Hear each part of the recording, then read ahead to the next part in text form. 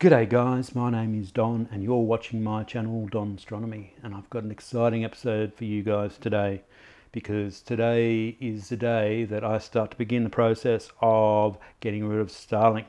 You heard me, I'm going to bring Starlink down and this is how I'm going to do it. I'm going to do it by using lasers. Yes, you heard me and I'm not kidding, lasers. This is the plan. I'm going to attach laser beams to my telescope. I'm then going to use Stellarium to find the, the, the satellites. And when I find the satellites, I'm going to track them. And when, once I'm tracking them, I'm going to apply the lasers. I'm going to melt those suckers and I'm going to bring them back down to Earth where they belong. So that's my plan. But I've also got a plan B if it doesn't work. If it doesn't work, instead I'm going to use the lasers that I mounted to make my observatory roof follow my telescope. So I've got a plan B.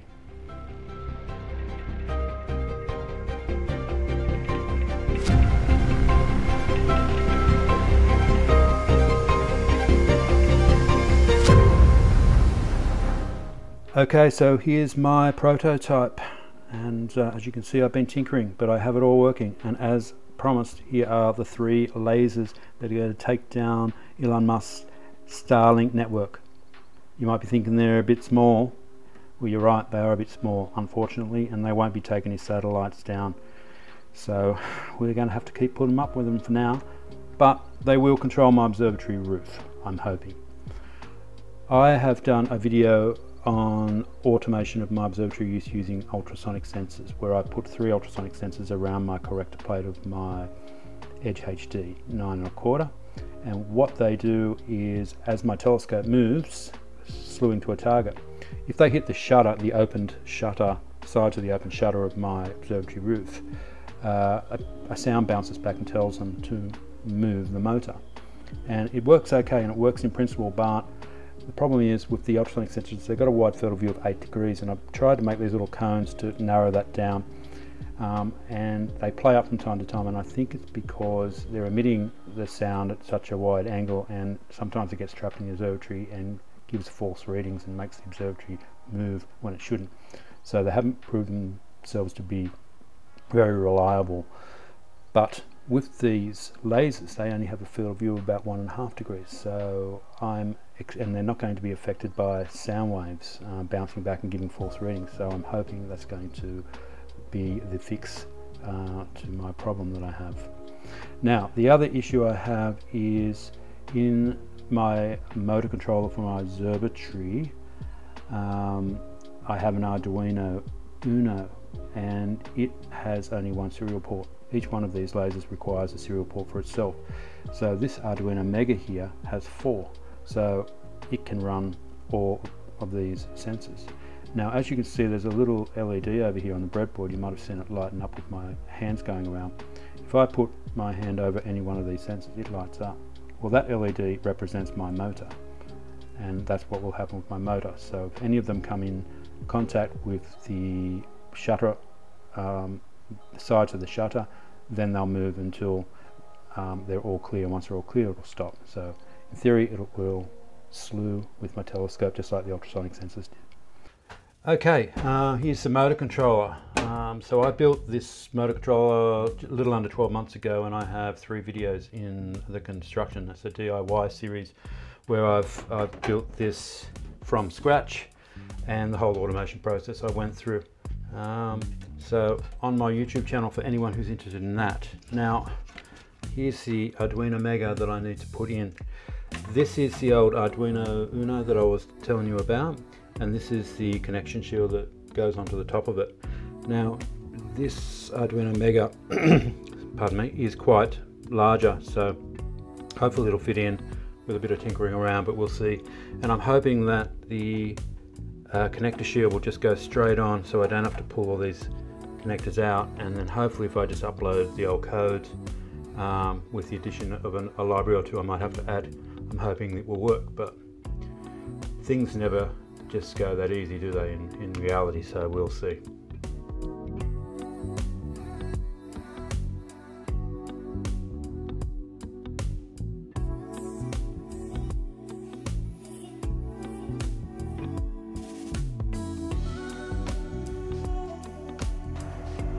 Okay, I'm all powered on and uh, I have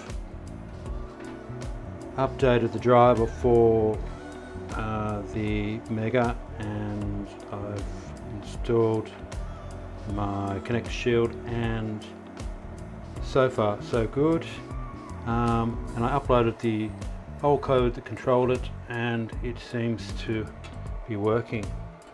Touch wood. I haven't tried the sensors yet but everything else seems to be working. Give it a quick test run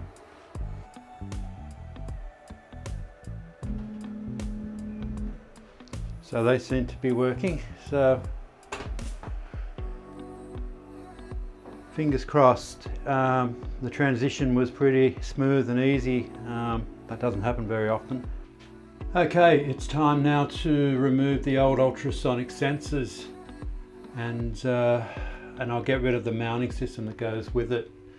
I think I can simplify it and uh, I'll come up with a new system for my uh, laser sensors. So they're the old sensors and uh, I'll probably use the same plugs and put them onto my, uh, my little laser sensors instead.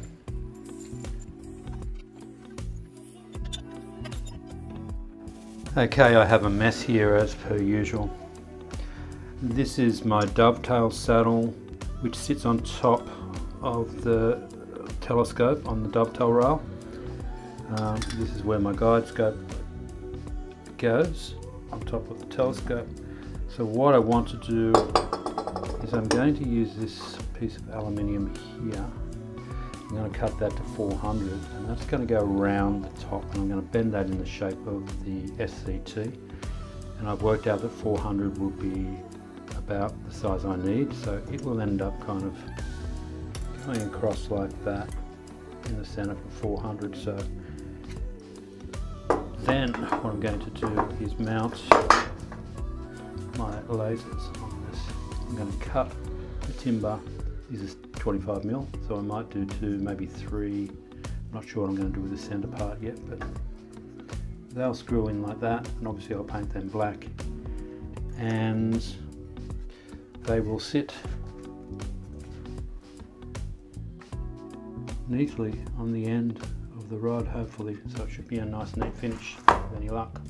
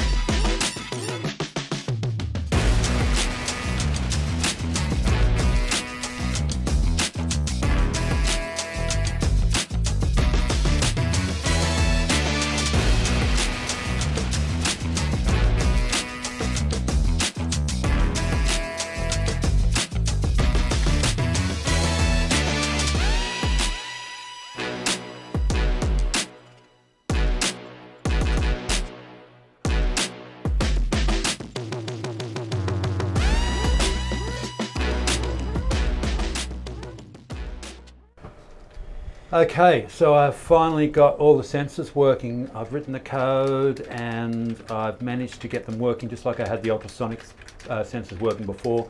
A little bit uh, more of a learning curve as I had to use four serial ports as opposed to the one that I was using before and the coding was a little bit more difficult. But they are working when I put my hand in the front of the sensor. You might be able to see it move there. Whoops, if I turn it on. It's very slow, but like I had with the ultrasonic sensors, they move the telescope roof. Now, I was struggling with a piece of code that I really wanted to do, and thank you, Luke, here, who's my boyfriend-in-law. He's, uh, what are you, Luke? I'm a software engineer. He's a software engineer. How, how cool is that? So he's helped me write some code. Well, he's actually wrote the, the code to help the, the motor go from a slow speed to a fast speed. So once the an object is blocked like my roof or if I'm doing meridian flip or going to another target in the night, when the telescope slews after five seconds, if I hold my hand over this, it will then speed up and go to that position of the telescope faster, which is just fantastic. Look at that.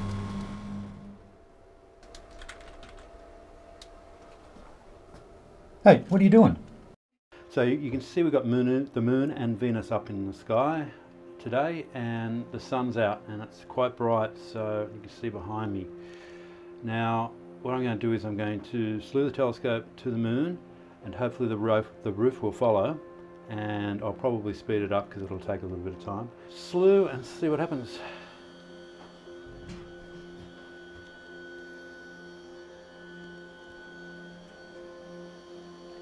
Now once the um,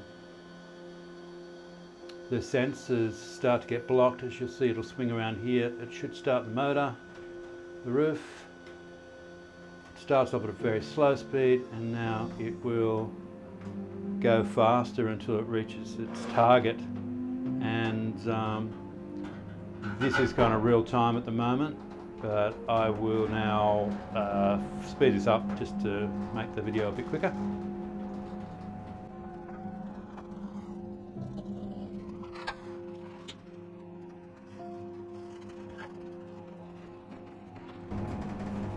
And of course, um, there's a bloody big cloud right where it's supposed to be.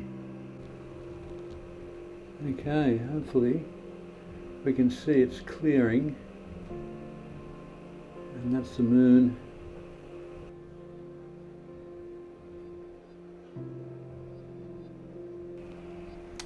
Okay, so I'm going to uh, simulate moving now across the night sky and hopefully the roof will just follow.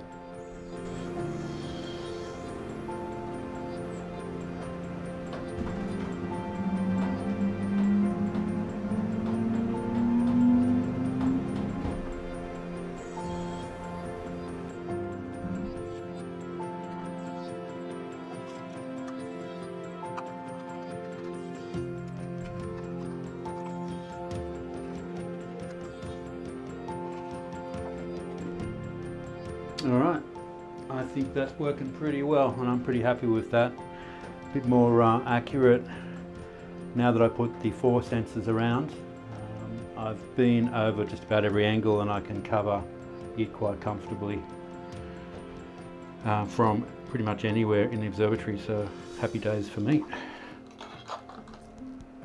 Okay, uh, conclusion. I think that the lasers work much better than the ultrasonic sensors and having the addition of the fourth one up on the top here um, given better coverage for that window and I can confidently get 90% um, of what the observatory can see so I'm really happy with that. Uh, I'm one, concerned about one thing and that is dew, dew building up on the laser sensors and I haven't tested that, it hasn't been cold enough and I'm hoping it won't give a false signal and cause the roof to move. If so, I might have to put some little baby dew shields on these things to counteract that. So hopefully it won't be an issue, but we'll see.